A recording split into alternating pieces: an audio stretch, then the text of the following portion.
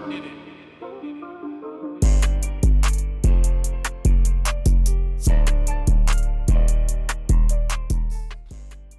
is up guys, BMC, we back again today. We're going over loops, how I flip them, which effects I use, how to determine the pitch of those loops, all that and more. Stay tuned. All right guys, I got a new project opened up here in FL Studio. I'm gonna go first and find a loop that I wanna use for this project. So let's go and find that right now.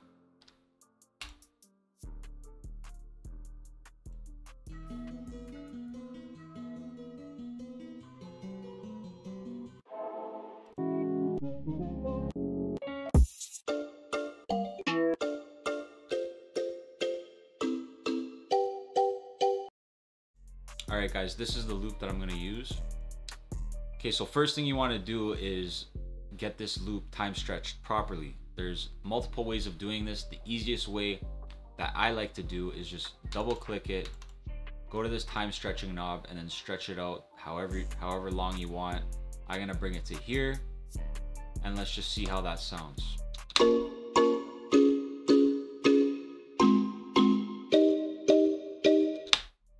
As you can tell, it doesn't sound the same anymore because we have the mode here on resample. It's actually, when you stretch it, it's changing the key of the, the loop. So what you wanna do to get it back to how it was is just go to this tab here and click auto. And it's gonna change the loop back to its original sound.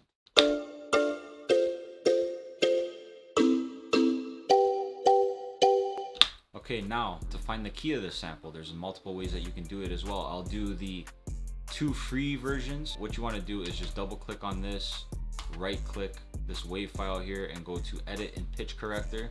It's gonna bring up Newtone and it's gonna show you, it's gonna map out pretty much all the keys here that is playing. So we could tell right off the bat, there's a D in there, there's a uh, F in there, and there's a G in there. The easy way to do this is just go to this scissor tool right here at the top, click it and go to scale, and it's gonna show you that it's in D minor. It will automatically show you which scale it's in. This works 90% of the time, but sometimes it does not work. Another way you can do it is left click, or sorry, yeah, left click twice, right click on the wave file, and you wanna go to edit in audio editor.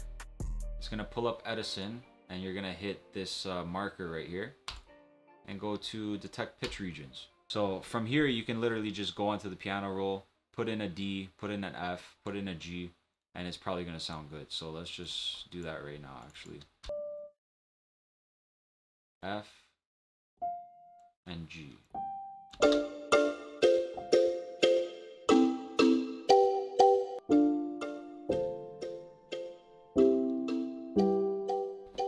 Once we find our chords, all the work is pretty much done. Now I have my root note and everything. So another cool thing that you can do to your loops to change up the, uh, the variation without changing it too much is to create a different version of that loop. So what you can do is um, you can left click on this wave file here and you can make it unique.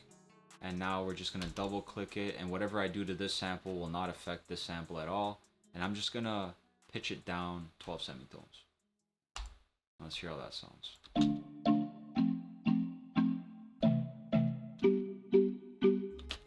That would be cool for like the verse or something. This will be cool for the hook. So now we got two parts off of one loop.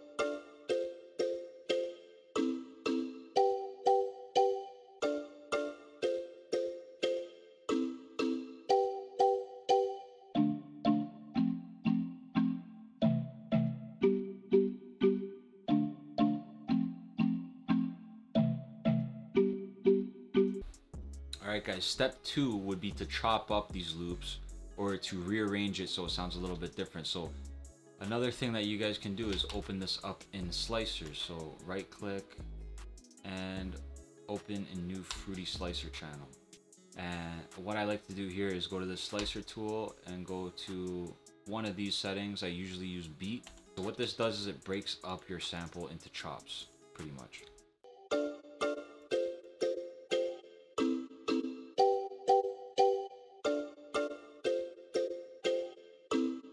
Let's go in here, add some drums, and just finish off this beat real quick.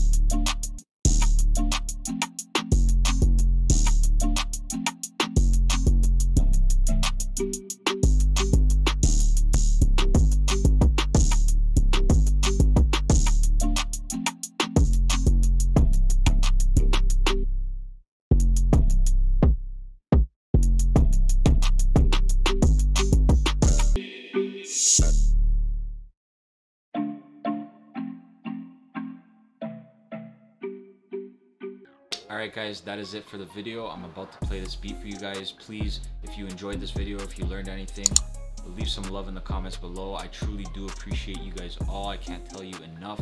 Thank you, thank you for all the love that I've been receiving, all the messages I get. I appreciate all of you guys from the bottom of my heart. Thank you for watching.